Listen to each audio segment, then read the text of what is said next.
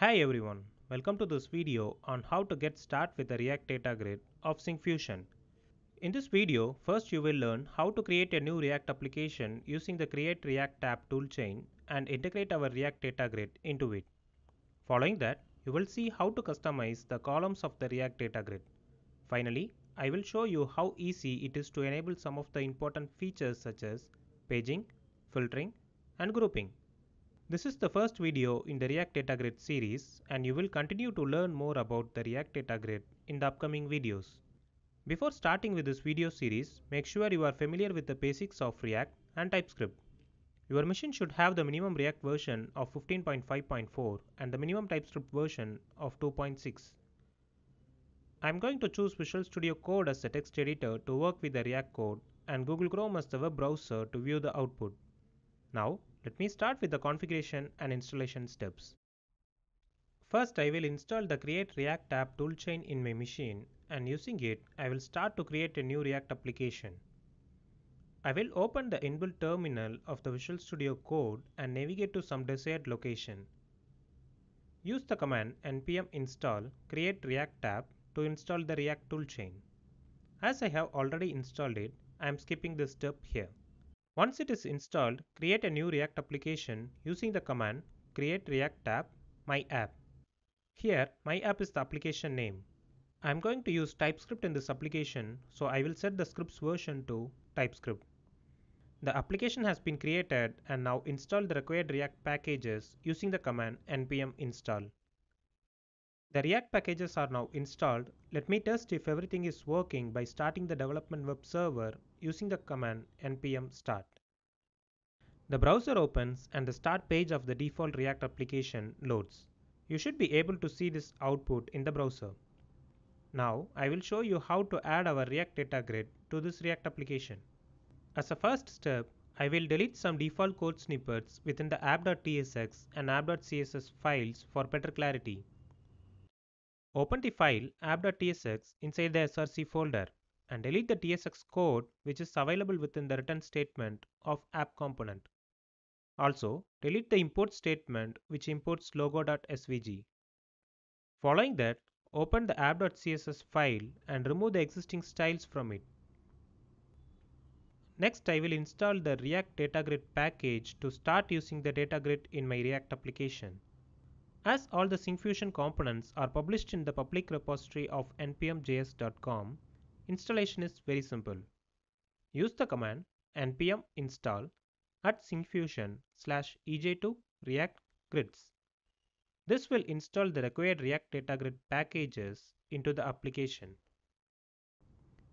To start using the React Data Grid component in the application, import the grid component from syncfusion slash ej2 react grids and then return the grid component within the render method.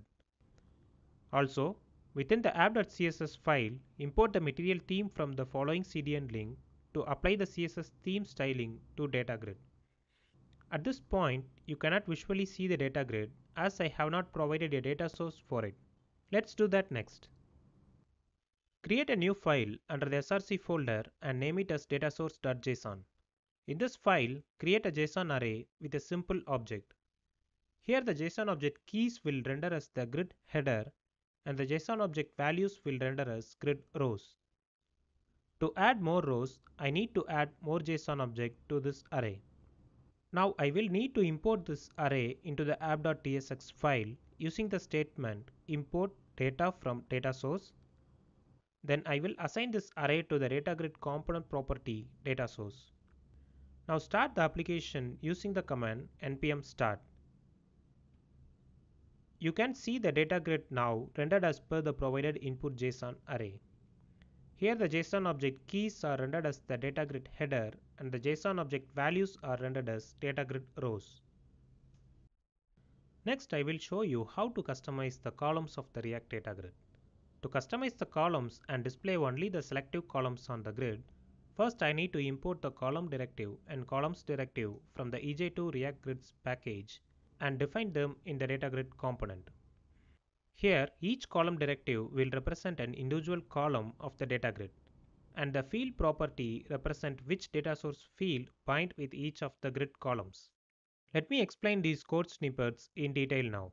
Here, the header text property will change the display text of the column to invoice ID, replacing its default value of order ID. The text align property will align the content of the column to either the right or left.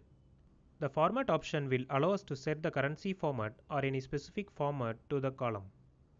The width property will set the desired width of the corresponding column. Let me show you the output of this code. The data grid is now displayed with the customized and formatted columns.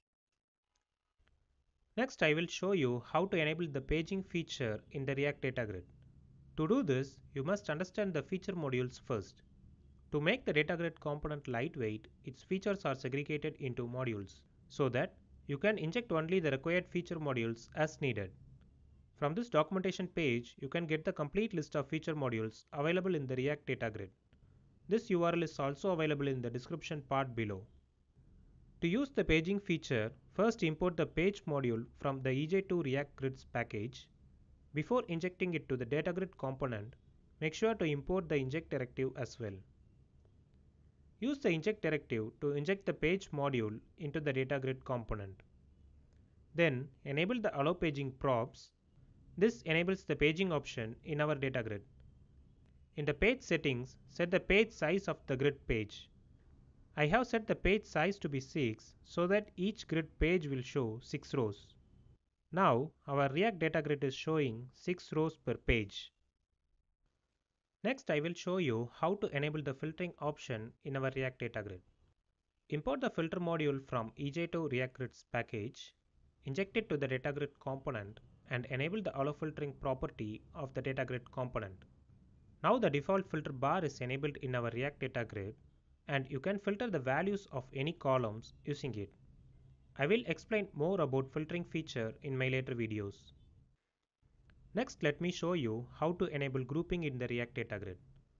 Import the group module from EJ2 React Grids package, inject it to the data grid component and enable the allow grouping property of the data grid component. In the output, the data grid is now enabled with the grouping bar. You can group the grid records simply by dragging the desired headers onto the grouping header bar. The component also supports multi-level grouping which I will focus on in my later video about the grouping feature. Now let me summarize some of the major points in this video. First we saw how to install the Create React App toolchain to start creating the new React application. Then we saw how to integrate the React data grid of Syncfusion into the created React application. We also learned how to change the column header, column alignment, format and width. Finally, using the module injection, we saw how to enable the features such as paging, filtering and grouping. Thanks for watching this video. In my future videos, we will explore more about React data grid features. If you enjoyed this video, give it a like and subscribe to our channel. Thank you.